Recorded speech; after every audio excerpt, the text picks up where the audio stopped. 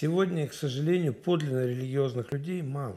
Заповеди все- во всех религиях а, говорят об одном и том же. Моральные принципы и основы мироздания.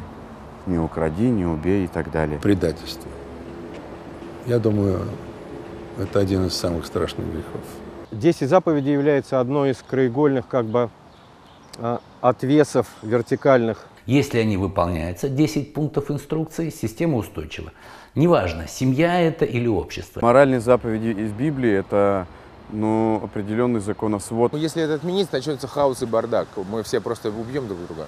Что касается э, десяти заповедей строителя коммунизма, то на самом деле это переписанные постулаты, когда-то давным сделаны по церковным манерам. Каждая конфессия, на самом деле, если так внимательно почитать любую святую книгу, они говорят примерно об одном и том же. Конечно, вы можете а, запросто, не задумываясь, э, нарушать правила, а, но это путь, как мне кажется, в никуда. Они, если можно так выразиться, актуальны в любое время и за много веков до нас, и, соответственно, за много веков после.